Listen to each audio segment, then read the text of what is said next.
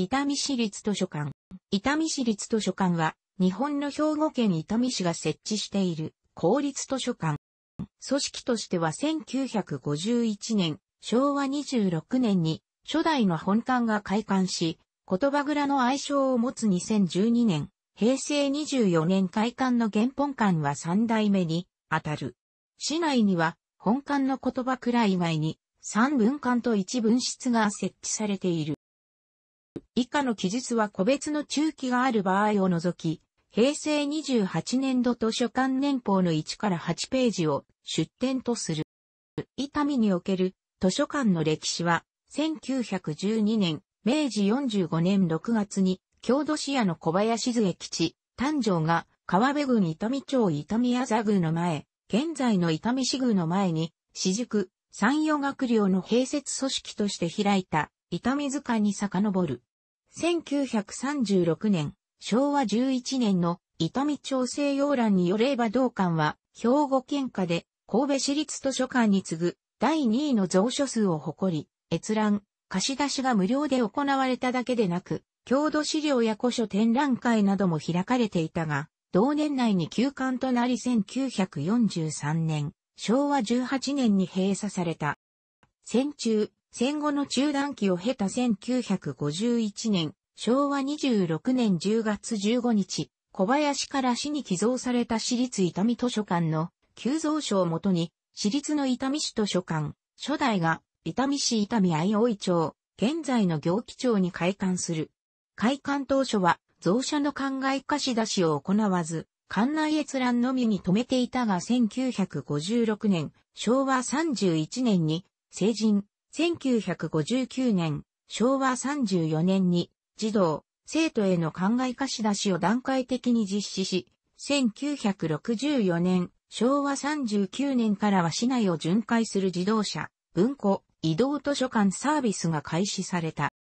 1954年、昭和29年、伊丹市図書館と尼崎市立図書館、西宮市立図書館、芦屋市立図書館の会員有志で、阪神四市図書館親睦会を立ち上げ情報、交換を開始する。この親睦会は1960年、昭和35年に、阪神館図書館員研究会へ発展し、1966年、昭和41年には4市の図書館を構成体とする阪神地区公共図書館協議会、バンズ協が正式に発足した。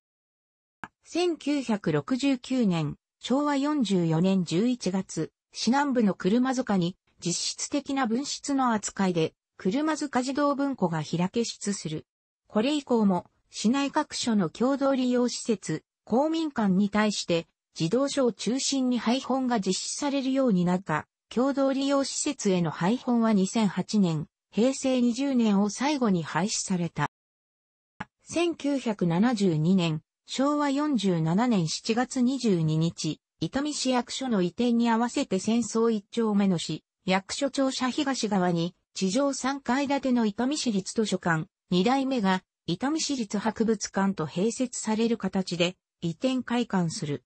1974年、昭和49年には、過密文館の前身となる、過密文室が開け出した。考え貸し出しにあたっては、初代館の時代からニューワーク方式を採用していたが、1982年、昭和57年からバーコードによる管理へ切り替えられている。1983年、昭和58年に伊丹市立伊丹小学校内で伊丹分室、1985年、昭和60年に池尻分室をそれぞれ開け室。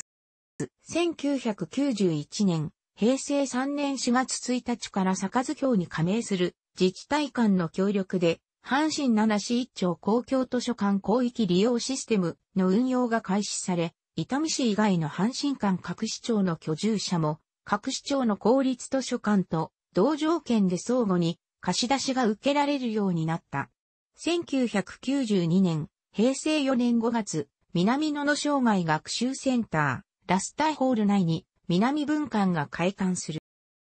1995年、平成7年1月17日の阪神、淡路大震災では、本館の前半回こそ免れたが、初夏の転倒や冷却水管の破裂による水損で、約1万冊の資料がダメージを受けたため分館、分室が早期に再開したの対して本館は長期休館を強いられ、4月5日に通常業務を再開した。1999年、平成11年、利用者数の減少などを理由として、バンズ協加盟館では、最初に移動図書館サービスを廃止する。2002年、平成14年6月、私立図書館のウェブサイトを開設。2004年、平成16年4月、市北部の北野に、北部学習センター、キララホール内に、北文館が開館する。この時期から経年による、老朽化と蔵書数の増加に伴う共愛化、IT 化への対応が必要となったため、新図書館の建設が計画される。2011年、平成23年3月、市内西部の4モール伊丹根用に、西分室が開け室。戦争の2代目本館は2012年、平成24年4月8日をもって閉館となったが、2代目本館と同時に開館した博物館は引き続き戦争に止まっている。旧本館の建物は言葉蔵の開館後に耐震補強工事を実施し、2013年平成25年4月より、伊丹市防災センターとして開館し、行政資料コーナーは、旧本館から移転せず引き続き防災センター1階に置かれている。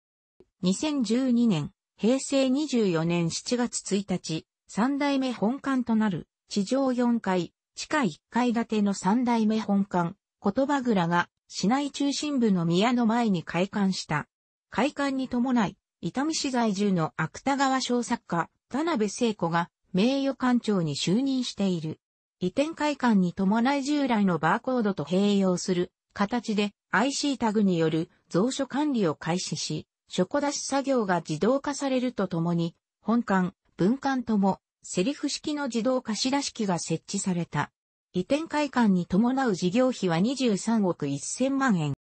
2016年、平成28年5月、市内東部に置かれていた過密分室が、過密交流センター内へ移転し、過密文館へ昇格する。同年11月、第11回ライブラリー・オブ・ザ・イヤー大賞を受賞。選考理由は、市民と共に実践している創造的な活動とされ、2017年、平成29年3月には、この回で優秀賞を受賞した岩手県の紫波町図書館や東京学芸大学学校図書館、運営専門委員会、大阪産業労働資料館、エルライブラリーと共同の受賞記念イベントを紫波町で開催した。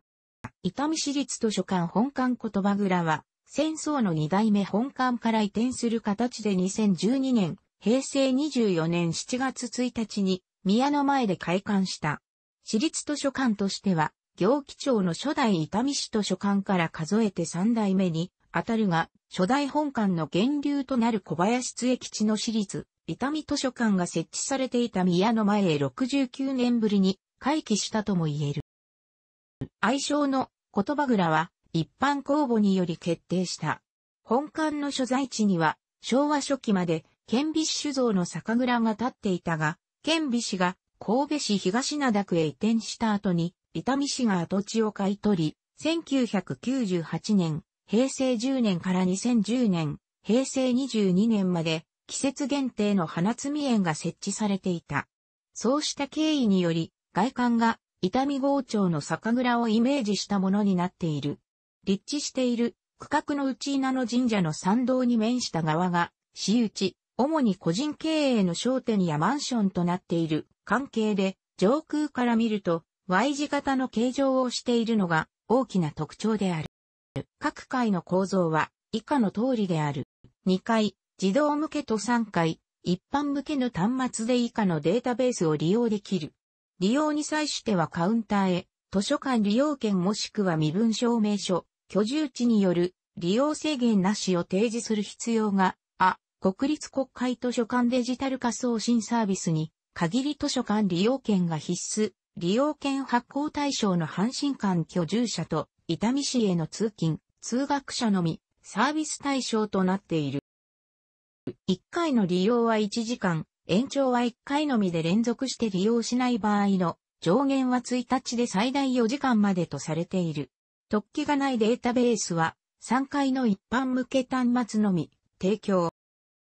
伊丹市バスを利用の場合、上記のいずれかの駅もしくは大阪国際空港から25系統に乗り、宮の前バス停で下車、稲野神社の参道、伊丹商工プラザと伊丹アイフォニックホールの間を、北へ、と5分、稲野神社の南側。